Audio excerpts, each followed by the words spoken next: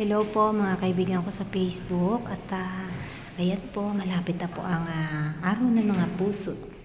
Titingin po tayo ng uh, mga chocolates.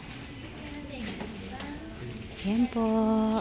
Alam niyo po dito sa Japan, pag po araw ng mga puso o Valentine's Day, yung pong mga babae ang nagbibigay po ng chocolate sa mga kalalakihan. Kaya ayan po, nakaka-ready na po yung mga chocolates, nakakabalot na, bibili na lang. Yan po. Ayan. Hmm. Ang sarap naman ng mga tsokolate na yan. Ayan. Ayan. Ito, tiramisu chocolate. Meron ding dito. Mga ganyan din. Ay, wow! Tsokolate. Mga hearts. Meron pang panda. Ayan. Tapos, punta po tayo dito sa kabila. Ayan. Ano ba tawag dyan? Parang ano siya? Matcha. Matcha chocolates. Ayan.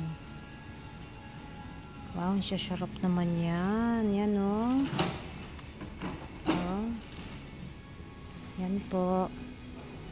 Punta po tayo dito sa kabila. Yan, meron din po mga ito favorite ko to, masarap yan. Yan to, Ferrero. Yan. Ah, ang sarap niyan, Kakao 72. Yan, masarap. Masarap po yan. Ang dami naman. Ay, eto po masarap yan. Favorite ko yan. Kakao 70. Tapos meron siyang uh, walnuts. Naku, ang sarap po niyan. Okay. Hanggang dito na lang po. At uh, ganyan po talaga ang uh, Valentine's dito sa Japan. Kami po mga babae magbibigay ng chocolate sa mga guys. Yan. Okay, thank you for watching. Maraming salamat sa mga nanood. Thank you po.